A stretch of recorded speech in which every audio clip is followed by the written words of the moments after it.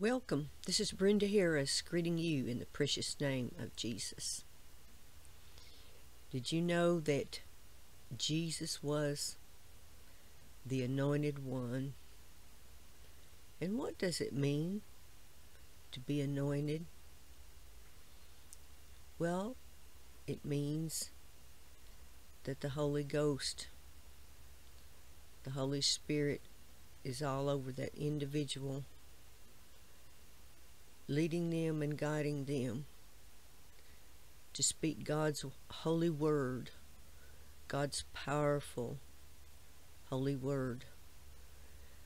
And of course, we know that Jesus Christ himself was the word because it says in the first chapter of John, in the beginning was the word, and the word was God, and the word was with God, and there was no thing that was created without the Word. And the Word was the light of men, and the darkness perceived it not. But God anoints the ones that have accepted Jesus as their personal Savior because Scripture teaches us that when we accept Jesus as our Savior, we are joint heirs with Jesus Christ. And He has great and mighty things in store for us in this life and in eternal life to come. And we will be kings and priests and rulers in that eternal home that God will have for us. But while we are here on this earth, God wants us to live right and He wants us to speak His anointed word so that we can bring others into the kingdom and save their souls from an eternal damnation in hell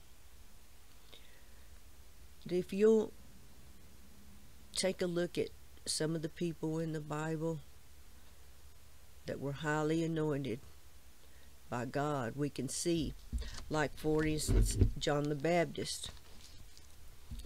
And scripture teaches us that John the Baptist made a way for the Savior to prepare a way. And it says the word of God came to John, the son of Zacharias, in the wilderness. See, the word of God came to him. When we are anointed by God, He will give us His word. He will lead us and guide us, and He'll tell us what to do. And that's what was happening here to John. It says, and he went into all the region around the Jordan preaching a baptism of repentance for the remission of sins. And then, later on, he's talking to the multitudes. And they came out to be baptized by John the Baptist. And then he speaks out and he says, Brood of vipers. Now, I remember one time when Jesus was talking to the hypocrites, the religious leaders of the day, and he called them a brood of vipers. Who warned you to flee from the wrath to come?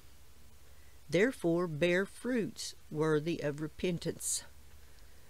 God wants us to bear good fruit. If we don't bear good fruit, then we're not on the correct path.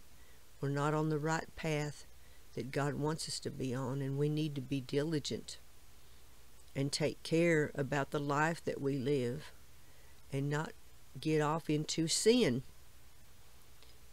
Bear fruits worthy of repentance, and do not begin to say to yourselves, We have Abraham as our father. Those religious leaders of the day, in Jesus' day, they thought they were so special because Abraham was their father. But they weren't living right. they were living as snakes, hypocrites. That's why John the Baptist called them brood of vipers. For I say to you that God is able to raise up children to Abraham from these stones. And even now the axe is laid to the root of the trees. Now, that's not very good when God pronounces judgment on a person. And that's what that means. The axe is laid to the root of the trees. And therefore, Every tree which does not bear good fruit is cut down and thrown into the fire. And if you think about it, the Bible has a whole lot to say about trees. Look at the beginning of Genesis. It talks about the tree of good and evil and the tree of life. Remember, God gave Adam and Eve that commandment not to eat of the tree of good and evil. And they disobeyed him. They ate of the tree of good and evil, and it opened up their eyes, and they realized that they had sinned. They were disobedient to God. So they were cast out of the garden. When you disobey God and go against his commandments, then you will receive judgment against you. And then there is that tree of life. And he protected that tree of life because he didn't want Adam and Eve to eat of that tree of life and then be in that sinful state forevermore. And that would have brought down the human race forevermore. So God protected you and He protected me from eternal damnation. But it is up to us to accept the salvation that God provided on that old rugged tree. I will cling to the old rugged cross forevermore.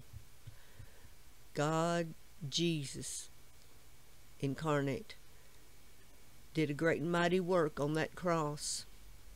He hung on that tree and he made a way, he paved a way for each person that has ever been born to be saved from an eternal hell. And I have accepted him as my Savior. How about you? Accept Jesus as your Savior today and stay on the right path. And God, in this verse, the word given to John the Baptist is referring to each person as a tree. Will you bear good fruit or will you bear bad fruit, poor fruit? God wants us to bear good fruit and live for Him the way we're supposed to. And there are many references to trees in the Bible.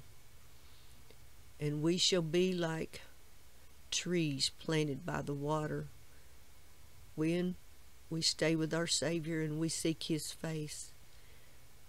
And we will bring forth wonderful, excellent, succulent fruit. And we will be great witnesses for other people that we come in contact with.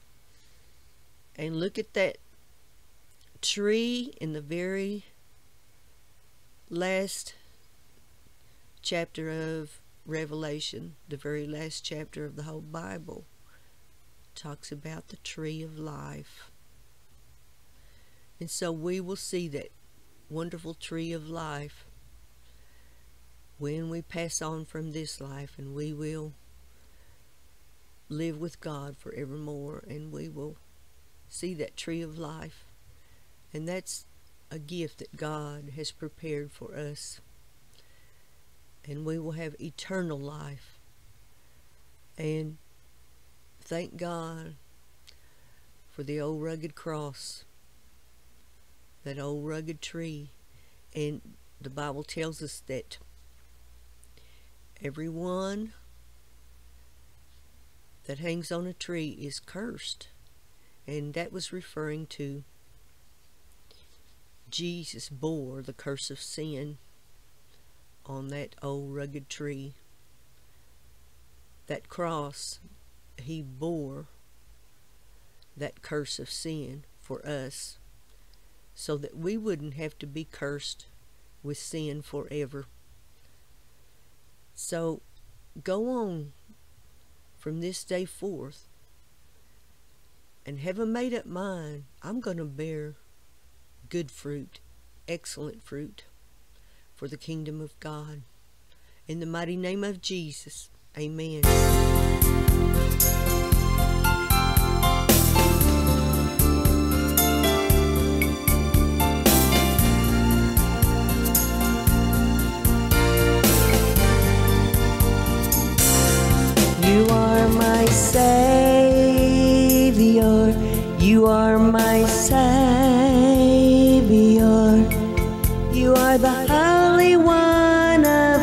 Israel, my Savior, the mighty God of Israel, my Savior. You are my Savior. You are my Savior. You are the Holy One of Israel, my Savior. The mighty God of Israel, my Savior.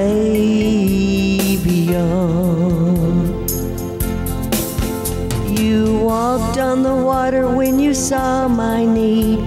You shut the mouth of the lion that roared. You redeemed me from the pit. You are my Savior. The mighty God of Israel, my Savior. You fed me manna in the wilderness, living water satisfied my thirst. You preserved me from destruction. You are my Savior.